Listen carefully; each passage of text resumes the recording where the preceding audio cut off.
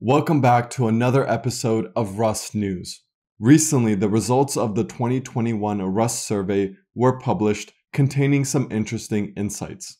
The survey took feedback from 9,354 respondents. This was roughly 1,500 more respondents than the year prior, showing that the Rust community is growing. Usage of Rust is also rising, 81% of respondents are currently using Rust at least on a weekly basis. This is up from 72% the year prior. Also, 75% of respondents say that they could write production ready Rust code, with 27% of those saying that it's difficult at times. Let's take a closer look at the breakdown. 24% of respondents say that they could write simple Rust programs. 27% of respondents say that they could write production ready code but it could be a struggle. 40% of respondents say that they are productive writing Rust code, and 8% say that they are an expert.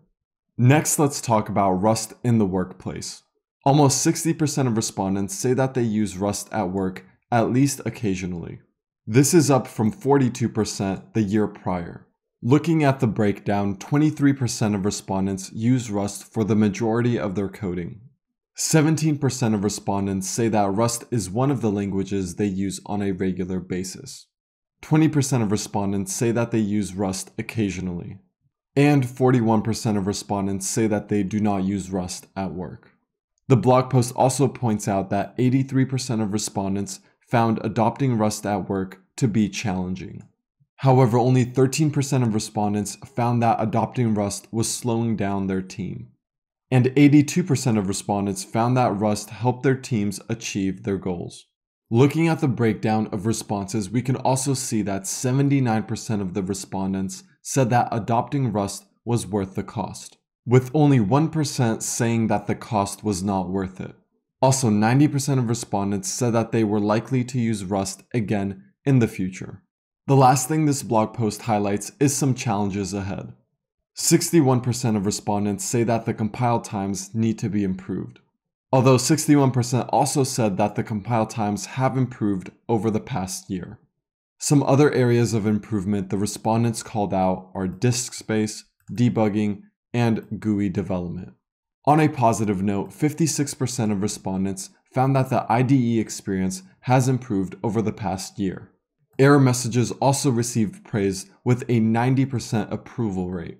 When respondents were asked what their biggest worry for the future of Rust was, 38% responded that their biggest fear was industry adoption.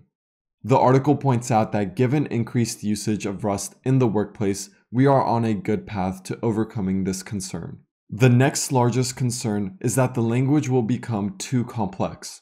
And the third largest concern is that the people working on Rust will not find the proper support they need to continue to develop the language and community in a healthy way. The article points out that the Rust Foundation and supporting structures should help address this concern.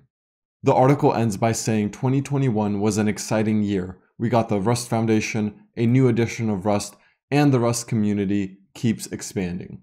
If this momentum continues, the future for Rust is bright. That's it for this video. If you enjoyed it, make sure to give it a like and leave a comment. Lastly, get your free Rust cheat sheet by heading over to letsgetrusty.com forward slash cheat sheet.